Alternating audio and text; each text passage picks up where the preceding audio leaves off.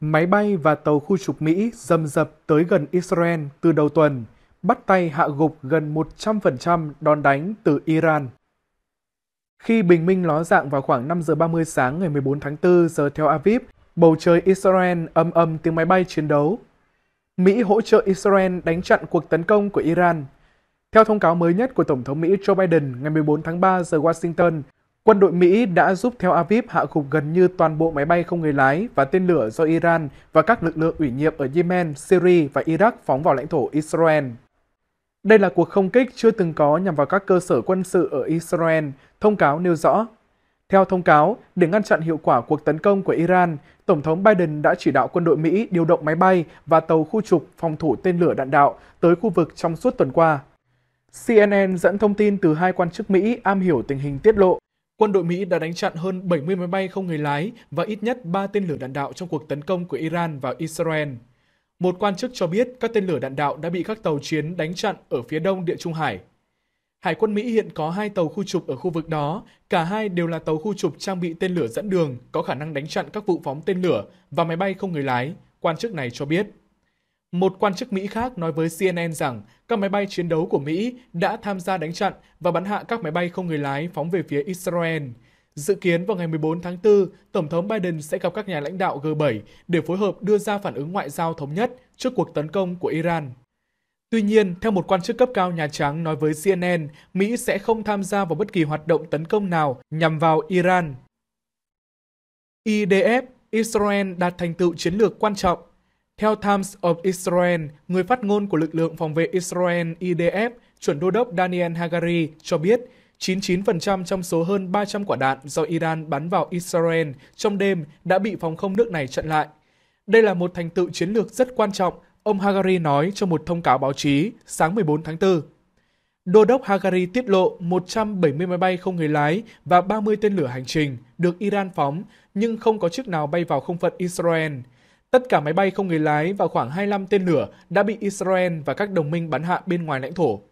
Ngoài ra, ông này cho biết thêm, Iran đã đánh chặn 120 tên lửa đạn đạo vào Israel. Nhiều tên lửa trong số đó đã bị hệ thống phòng không tầm xa Arrow bắn hạ. Tuy vậy, vẫn có một số tên lửa đã vượt qua được hệ thống phòng thủ của Israel và bắn trúng căn cứ không quân Nevatim ở miền nam Israel. Cơ sở hạ tầng ở Nevatim bị hư hại nhẹ, nhưng căn cứ không quân vẫn hoạt động bình thường. Căn cứ đang hoạt động và vẫn tiếp tục thực hiện nhiệm vụ, ông Hagari nói. Iran nghĩ rằng họ có thể làm tê liệt căn cứ và làm tổn hại đến khả năng không quân của chúng tôi, nhưng họ đã thất bại.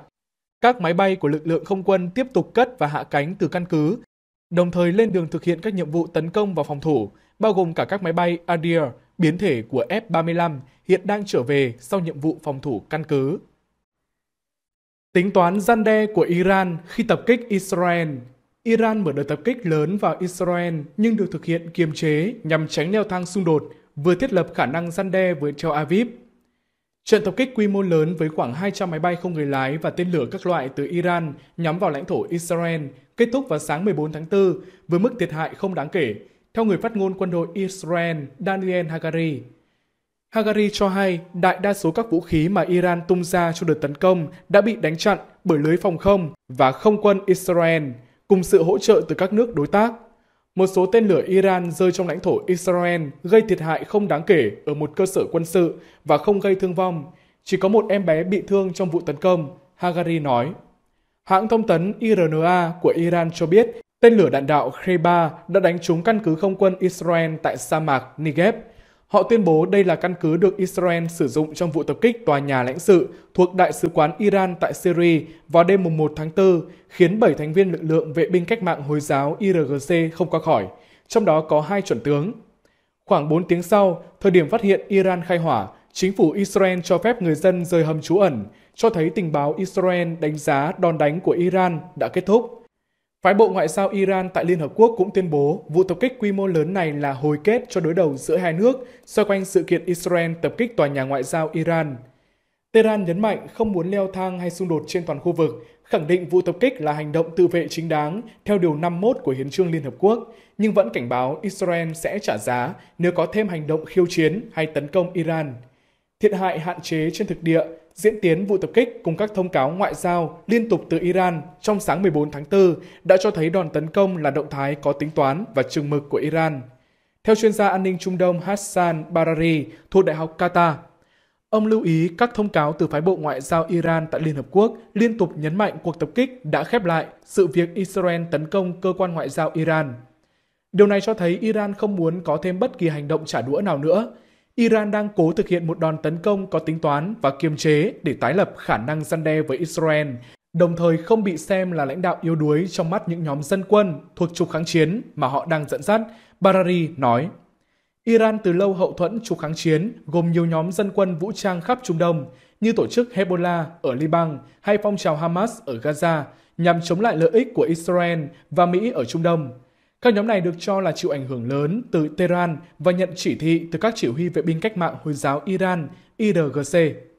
Nhà báo Rory Chalens của Al Jazeera cũng đưa ra nhận định tương tự về đòn tập kích đã được báo trước từ lâu của Iran. Ông cho rằng Tehran vừa muốn gửi thông điệp dằn mặt, vừa không muốn gây ra thiệt hại quá lớn để rồi đẩy căng thẳng leo thang thành xung đột cấp độ khu vực. Thiệt hại ở Israel rất nhỏ, chỉ được ghi nhận ở căn cứ không quân giữa sa mạc, một vài trường hợp bị thương và không có người không qua khỏi. Đây là phép thử đối với Israel. Nội các chiến tranh Israel đã được trao quyền tổ chức đáp trả Iran. Nhưng liệu họ có tính toán và chừng mực như đối phương hay không? Mỹ sẽ nói gì với Israel? Liệu họ có khuyên trả đũa nhẹ tay và kêu gọi các bên bình tĩnh lại? Challenge đặt câu hỏi.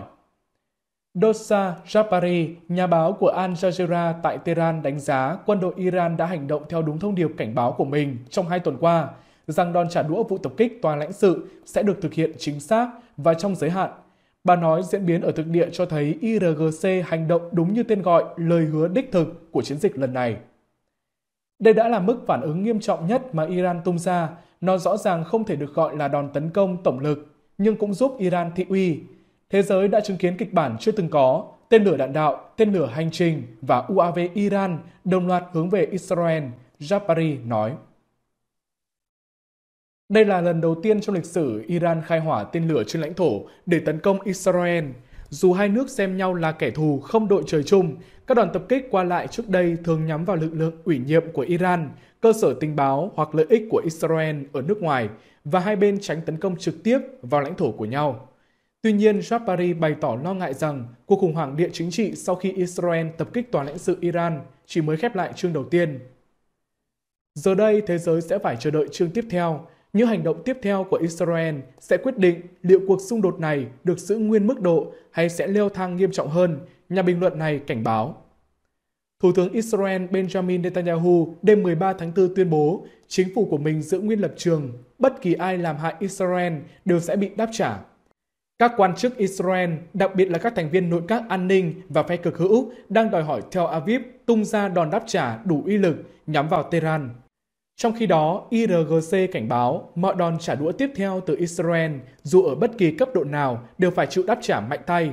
Bộ trưởng Quốc phòng Iran Mohammad Jera Astiani còn đe dọa trừng phạt bất kỳ nước nào hỗ trợ Israel hoặc cho quân đội Israel sử dụng không phận và lãnh thổ để tấn công Iran. Iran và Israel đang kéo toàn bộ khu vực vào tình cảnh chưa từng có tiền lệ. Đây là giai đoạn vô cùng nguy cấp và những hậu quả tiêm tàng đều là thảm họa Ali Vared, giám đốc nghiên cứu Iran của tổ chức nhóm khủng hoảng quốc tế ICG, bình luận.